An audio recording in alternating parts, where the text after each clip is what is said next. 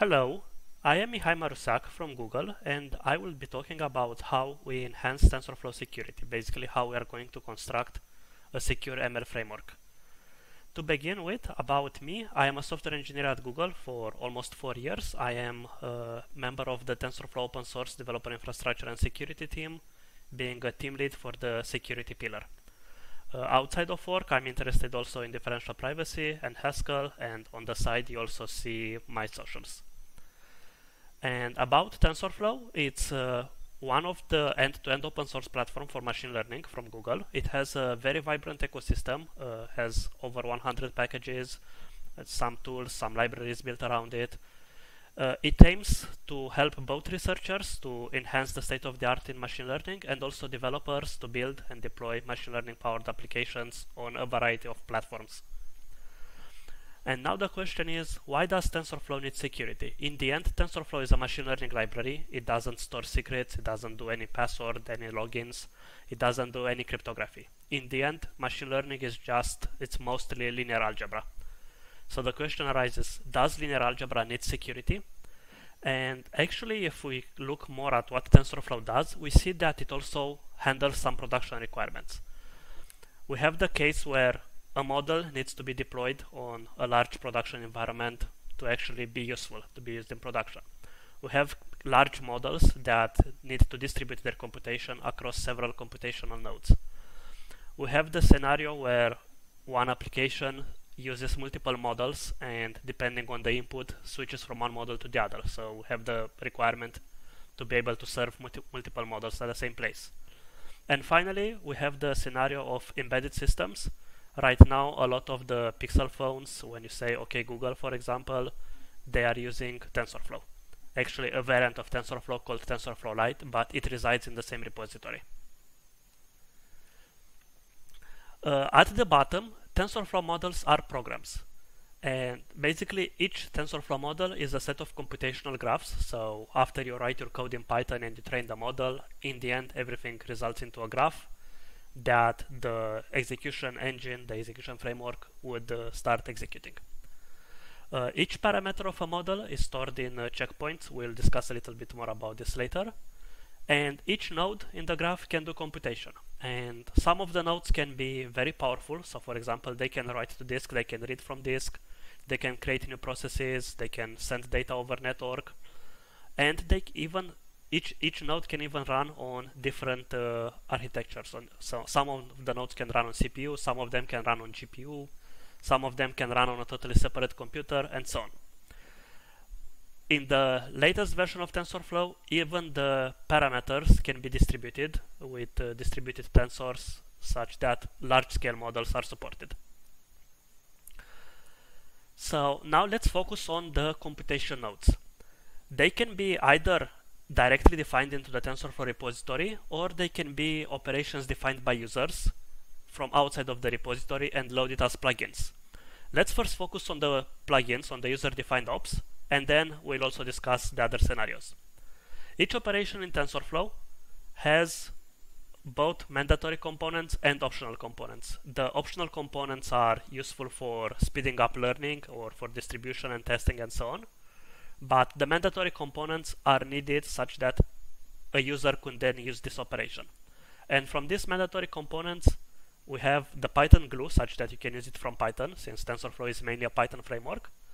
We have the C++ op registration, basically the link between the Python API and the, the piece of code that will be executed at runtime. And finally, the runtime piece, the C++ kernel. The Python glue and the C++ op registration, usually they are just calling some macros or some simple template function and it's easy. The C++ kernel on the other side is where the entire computation happens. So let's focus a little bit more on that. Uh, so here I have an example of defining a custom op where it's implemented as a class, my op, and it inherits from the class op kernel. And in the end I have to do two operations. One is to call the constructor and make sure I also call the opkernel constructor. And the other place is the compute method, where the entire computation happens. So here I am reading the input tensors, I am operating on those tensors, I am putting output, I'm putting numbers or values into the output tensor, and then I'm returning. Since this custom op is written by users, there are scenarios where we don't really trust the code that is written in there.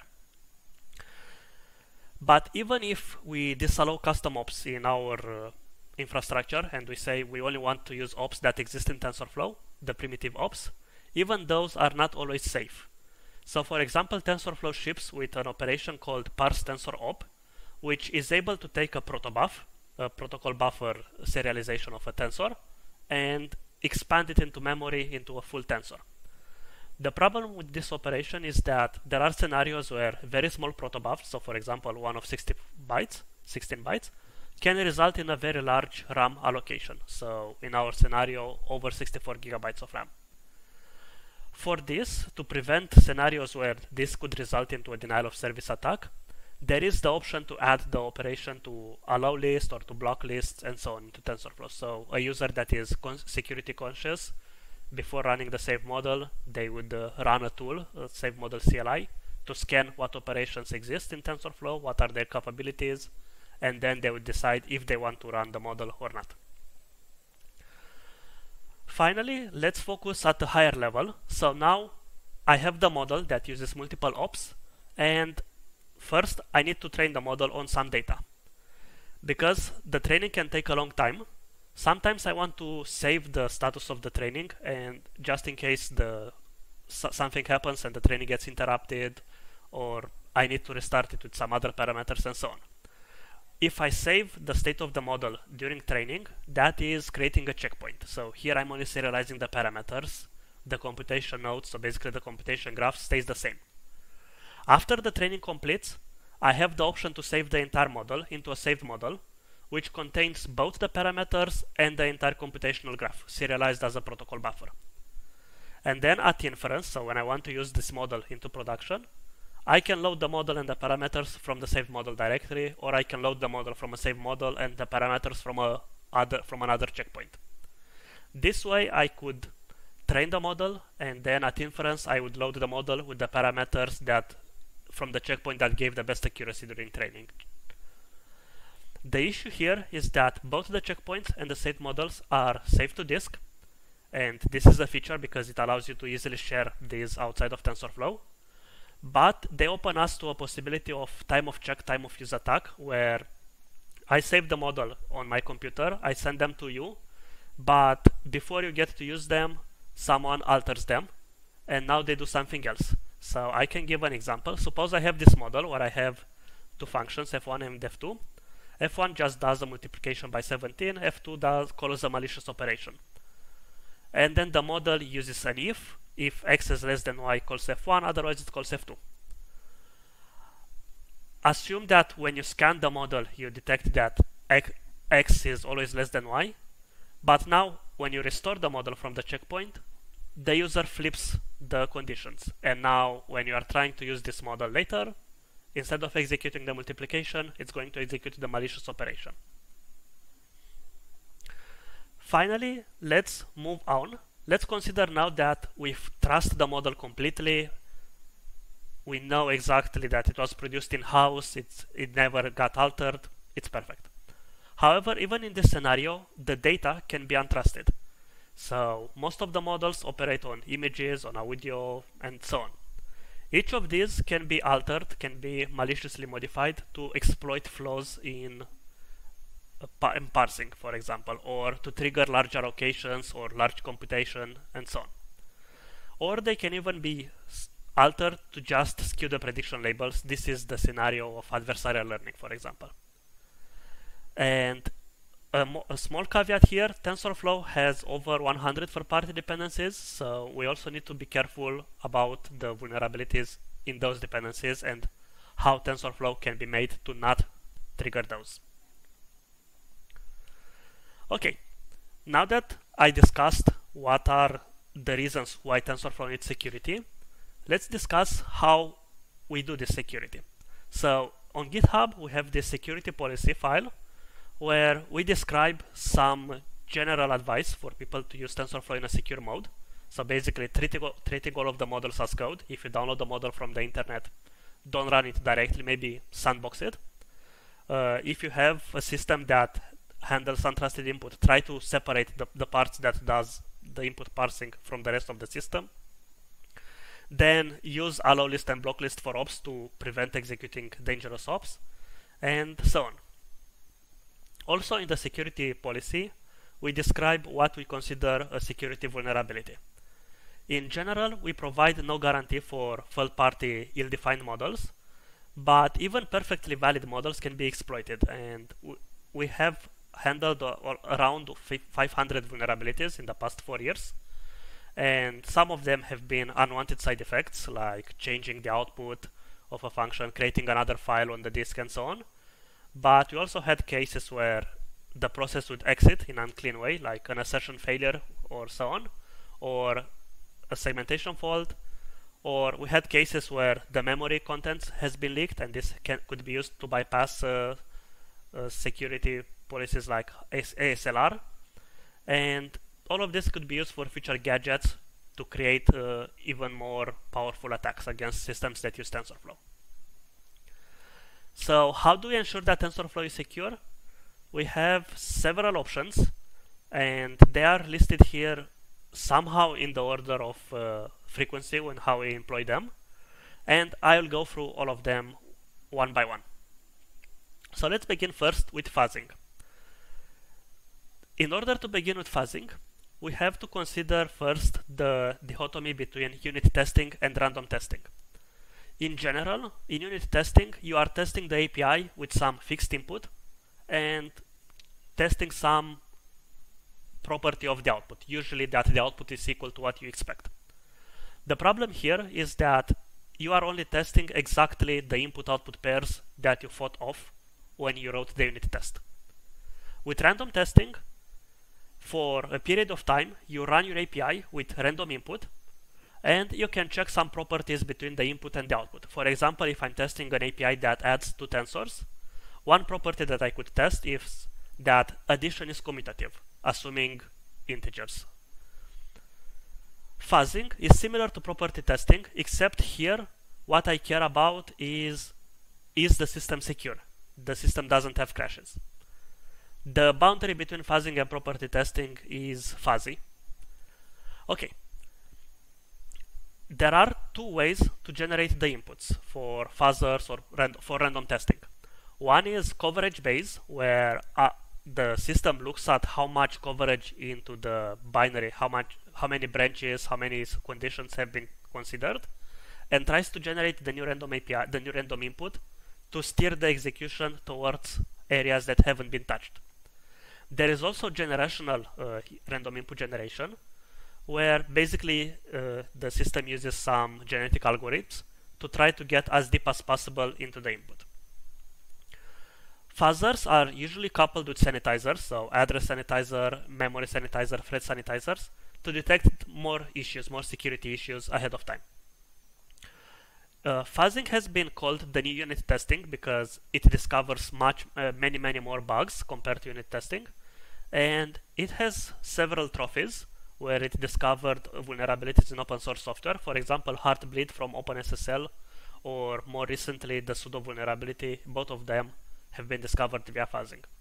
In fact, for TensorFlow, out of those almost 500 uh, code weaknesses that we identified, over 400 of them have been discovered via fuzzing.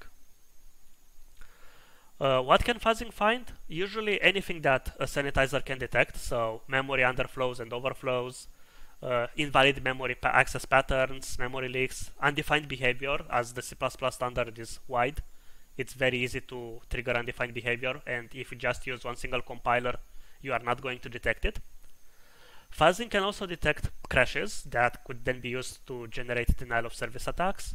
They can detect uh, bugs in using resources. We have scenarios where fuzzing would discover, for example, uh, denial of service because two functions in the TensorFlow model were, were waiting on the same lock, or they were calling each other recursively without reducing the input.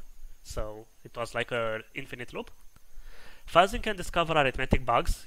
we have a lot of division by zeros and overflows in TensorFlow code that have been discovered by fuzzing. Uh, they can discover faulty assertions when the code was written and broken invariants as the code migrates.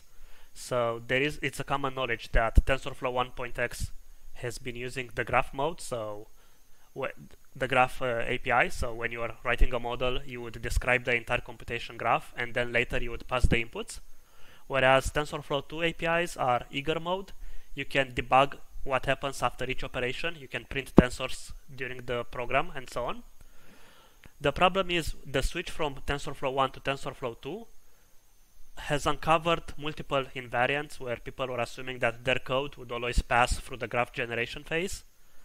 And now, because in eager mode that no longer executes, there are some assertions, some validations that are no longer executed. Finally, fuzzing or property testing, they can find property failures or round-trip failures where, for example, you take an input, you encrypt it, you decrypt it, and you're expecting to see the same thing. Uh, a good fuzzer has to consume any type of input, and in this case, I mean the size of the input should be small, large, even empty inputs, and should cleanly exit on invalid data. So, if your program under a fuzzer under a random input crashes, that would both slow down the fuzzer and will also signal that that input could be used to trigger a denial of service later by an attacker passing it to crash your program in a production environment.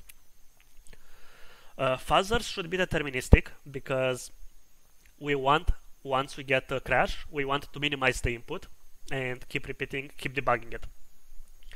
A good fuzzing library allows the input that triggered the fuzzing crash to also be used as a unit test uh, later. So if the fuzzer is deterministic, you can easily take the input and make it as a unit test and only te test for regressions when once the bug is fixed it no longer gets reintroduced. Fuzzers should minimize the use of global state because it makes uh, easier to fuzz your code. It's better if they run in a single process and they are fast because then you get to cover more parts of your program in as little time as possible. Okay, so TensorFlow uses open source fuzz to fuzz the open source uh, version of TensorFlow. This is a project developed by Google, separate of TensorFlow, and we've integrated since 2018.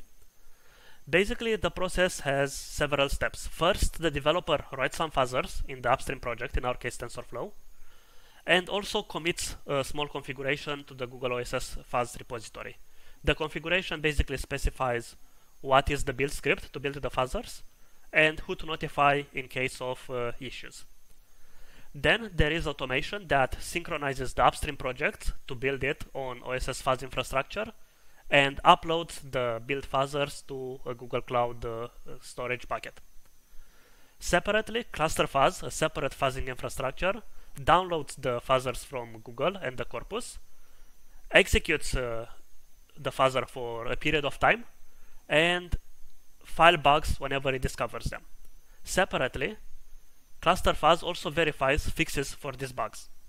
Once a bug is, fi is filed in uh, Monorail, this is the issue tracker that gets used, the developer is notified and they usually have 30 days up to 60 days to fix the issue before the bug becomes public. If the developer fixes the issue before this 30 days period expires, the bugs become public immediately. And tracking all of these deadlines is done by another piece of infrastructure called SheriffBot.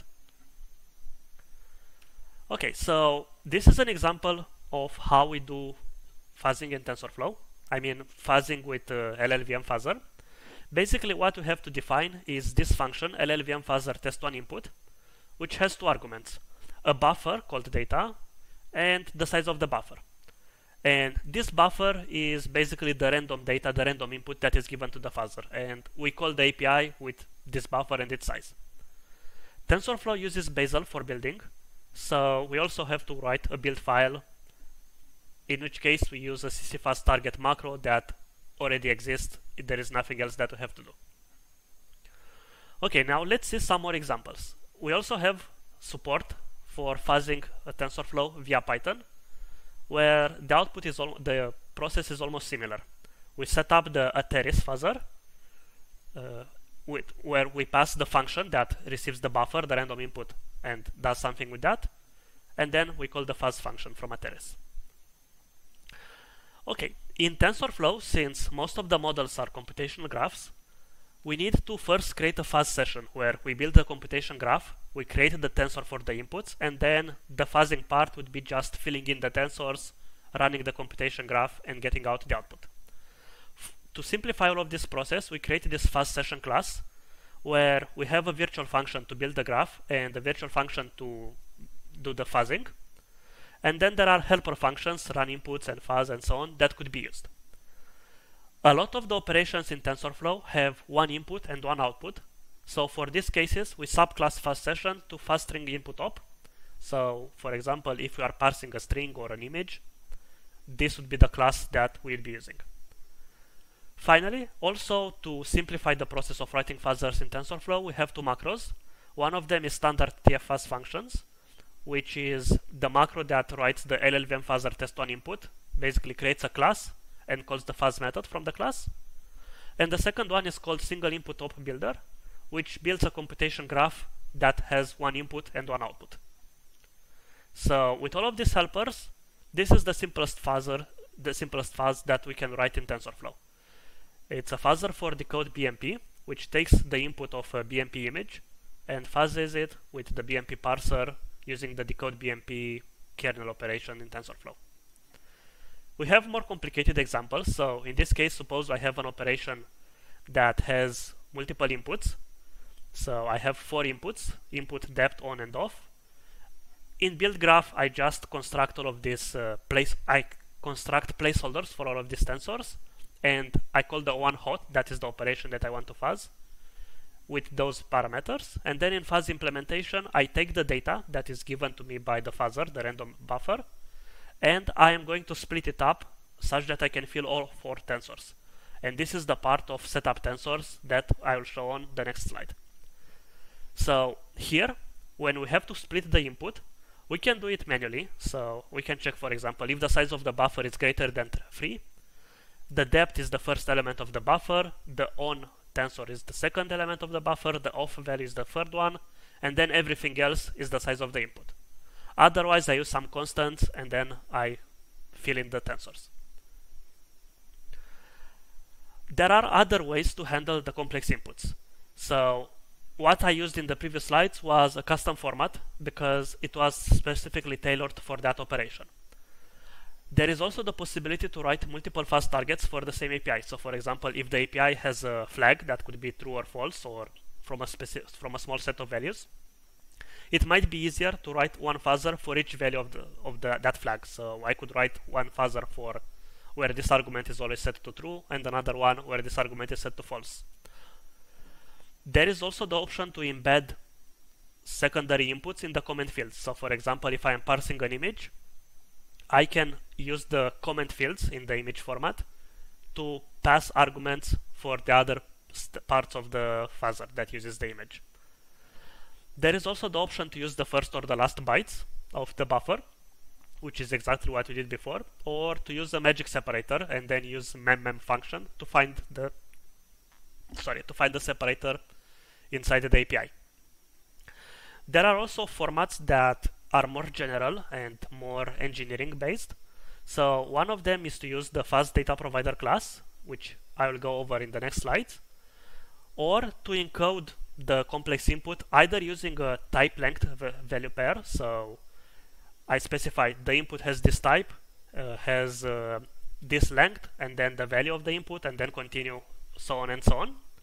Or to use protobuf mutators. Basically, I am building the input as a protobuf, and then the protobuf mutator, which already is implemented by the fuzzing infrastructure, mutates this protobuf, and then my fuzzer we'd read from the protobuf, we'd expand everything, deserialize everything, and then call the rest of the code. And now let's see some example of fuzzed data provider because this is what we use mostly in TensorFlow. So what we have to do is initialize the fuzzed data provider with the data buffer and its size. And then as long as we have bytes uh, remaining in the data in the fuzzed data provider, we read some components of it. We call our API, in each case consume leading digits, and then we check some property on the output. We can also use fuzzed data provider uh, on Python.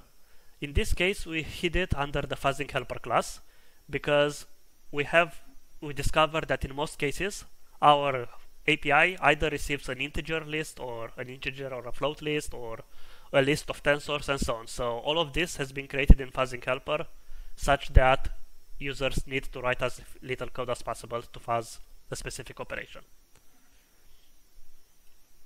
Okay, now that we are done with fuzzing, let's consider the next scenario that we use at Google to identify security issues, code uh, uh, vulnerabilities, and so on. This is mutation testing. What we do in this case is there is a system that looks at the AST of the code and mutates some condition. So for example, if developer writes the code on the left, this system might detect that I have a condition on the if branch and negate it. If this results in some unit test failing, then this mutate, mutation is considered detected. If at the end of the mutation testing period there is at least one mutation that has not been detected by any unit test, then the developer would receive a warning such that they can use to see if they, if they write uh, code that has no effect. Okay, another feature that we use to this one is mostly once we have a vulnerability, how we fix it at scale, is to use Clang-based tools. And there are two options here. One of them is to use Clang tidy checks. So we know that developers are prone to using to writing code that showcases this particular code weakness. So for example, accessing elements outside of bounds of some array. We can write a Clang tidy check that as soon as code is submitted for review, will detect this code uses indexes two arrays in parallel and doesn't check that these two arrays have the same size. So it's possible that the indexing would be outside of bounds. Let's warn the developer such that they would insert the check. Or the other option is to use ClangMR refactoring, where let's say I have an API. So for example, this is a real scenario that happened some years ago. There is this API shard that receives a function to do the work at the end. So basically it distributes this work across multiple workers in a thread. The work function receives two int64 arguments. However, in a lot of cases, by mistake, developers have written they have called the API with a function that received int arguments. Because of the width difference, it happens that in some scenarios, the function can write outside of bounds of array, can result in or can do overflows, or can run into infinite loops. In order to fix all of these scenarios, we used ClangMR to detect all of the wrong cases or all of the wrong calls of shard and automatically rewrite them into the proper calls. Okay, another tool that we use for security in TensorFlow is to do some validation for the models. So, as I was saying that we have the option to save the model into a saved model format, which is a protobuf in TensorFlow. But TensorFlow also has TensorFlow Lite. TensorFlow Lite saves the model into flat buffers, which is a different serialization format from protobuf. Flat buffers offers uh, the developer the possibility to write verified type functions, where you are specifying conditions between tables in the flat buffer. A save model into the flat buffers format for TF Lite is represented on the image on the right. So basically we have a model table that contains a buffer arrays which basically contains the memory allocated for each tensor. And then there is a subgraphs array that points into a subgraph table where we have for each uh, table we have the tensors, the inputs, the outputs for the operations and so on. And for each tensor, we have a buffer element, a buffer index, that should point back to the buffers into the model table. And all of this indexing could be altered by on the since it's fi a, a file saved on disk, it could be altered by a malicious user. So with verify, we can detect at load that all of the indexing is valid, and only then, if all of the indexing is valid, then the model is returned to the runtime and can be executed, can be passed input and generate output. While here, we are also trying to develop TensorFlow using layered APIs. Uh, there are cases where we have to deal with untrusted inputs, and there are three ways to do that. One option is to report them via check. check is a macro that is basically an assert. If the assertion is failed, if the condition is uh, false, falsified, the check results in a program termination. Decheck is similar to check but only in debug mode. Outside of debug mode, it's a no-op. Both of these, check and DCHECK, are useful only in a small number of scenarios because they don't report something useful to the user. Instead, what we should do if the input comes from the user is to return status or status or t, where we can return either a status or a t value.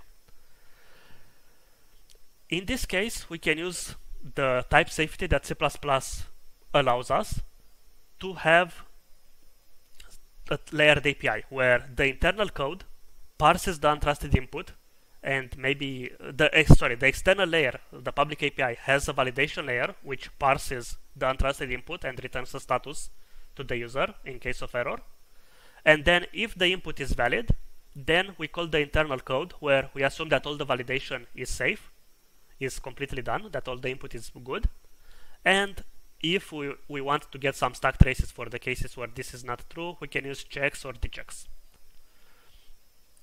There is a similar talk, a similar blog article called parse don't validate. It's about Haskell, but the structure basically it represents splitting your API into splitting your code into two layers. One layer for the parser where you continuously parse the input and add structure to it or a validator that just reports the input failed to parse or passed the entire parsing and is valid. While here, we can also discuss about parsing differentials. Basically, parsing differentials or shotgun parsing is, sorry, shotgun parsing is where you parse just a little bit of the input, then you do some operation, then you parse a little bit more of the input, do a little bit more of operation, and so on. This makes you prone to parsing differential attacks where you have two different parsers for the same input and they treat exceptional cases differently.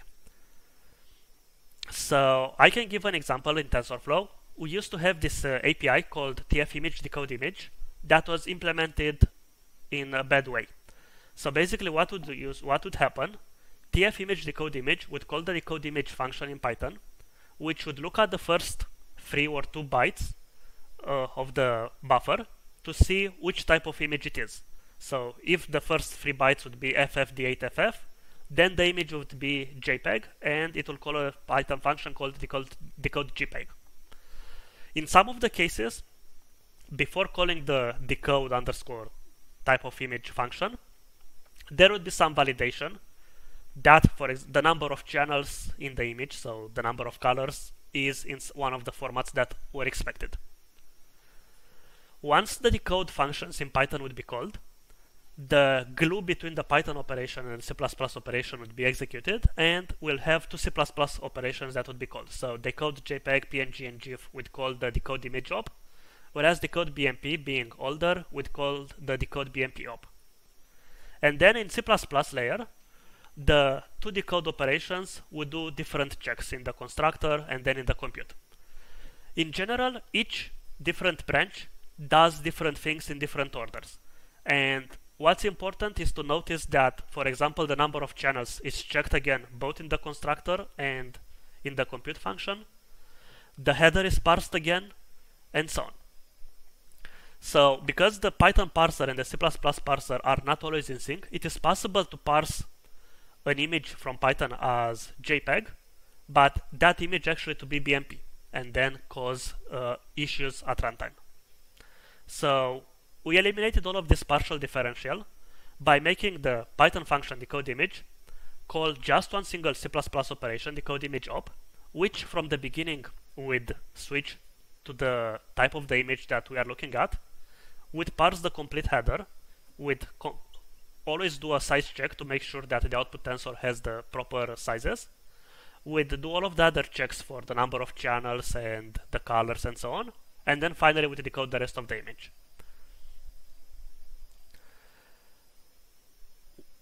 Basically, APIs could be viewed also as formal languages, where the strings that the formal languages accept are the valid APIs, the valid order that the user could call the APIs. It is very hard to validate the APIs because of Turing completeness and also because of uh, Hyrum's law, which results from le leaking implementation details. But it should be possible. And here I would recommend the Science of Insecurity talk from many years ago from a security conference. And these are some resources from everything that has been discussed into this uh, slide. And uh, I can leave the floor now for questions. Uh, thank you very much.